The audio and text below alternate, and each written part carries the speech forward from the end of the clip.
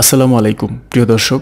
আজকের ভিডিওতে আমরা জানব, চারজন নবী এখনও জীবিত থাকতে পারেন, তাও আবার কয়েক হাজার বছর ধরে এতে কোনো সন্দেহ নেই। যে চারজন নবী ইন্তেকাল না করে এখনও জীবিত আছেন, তার মধ্যে দুইজন আসমানে ও দুইজন জমিনে জীবিত আছেন। আসমানে যে দুজন নবী রয়েছেন, তারা হচ্ছেন হজরত ইদ্রিস আলাইসাল্লাম যাকে হজরত জিব্রাহিল আলাইসাল্লাম মহান আল্লাহ তালার আদেশে জান্নাত পরিভ্রমণে নিয়ে গেলে জান্নাতের অপরূপ সৌন্দর্য ও মহান আল্লাহ তালার অপূর্ব নিদর্শন দেখে হজরত ইদ্রিস আলাইসাল্লাম জান্নাত থেকে আজ অবধি আর বের হননি। দ্বিতীয়জন হচ্ছেন হজরত ঈসা আলাইসাল্লাম যাকে মহান আল্লাহ তালা অক্ষত অবস্থায় আসমানে উঠিয়ে নিয়েছেন।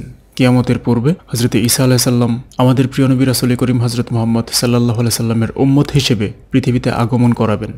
ও ইমাম মাহাদি আলাইসাল্লামের পিছনে তিনি নামাজ আদায় করবেন এবং ইমামুজ্জামান আলাইসাল্লামের নেতৃত্বে বিপ্লবে অংশগ্রহণ করবেন। জমিনে যে দুজন নবী রয়েছেন, তারা হচ্ছেন হজরতে খিজির আলাইসাল্লাম তিনি জমিনের মধ্যে জলে আছেন। দ্বিতীয়জন হচ্ছে হজরতে ইলিয়াস আলাইসাল্লাম তিনি জমিনের মধ্যে পাহাড়ে আছেন। এছাড়াও ইবলিশ হজরতে আদম আলাহিসাল্লামের সৃষ্টির আরও বহু পূর্ব থেকে জন্ম নিয়ে বর্তমান পর্যন্ত এমনকি কিয়ামত পর্যন্ত জীবিত থাকবেন, এতে কোনো সন্দেহ নেই। মানবজাতি সর্বনাশ করার জন্য লানতি ইবলিশের দীর্ঘায়ু জীবন নিয়ে কোনো মুসলমানদের মধ্যে বিন্দুমাত্র কোনো সন্দেহ নেই।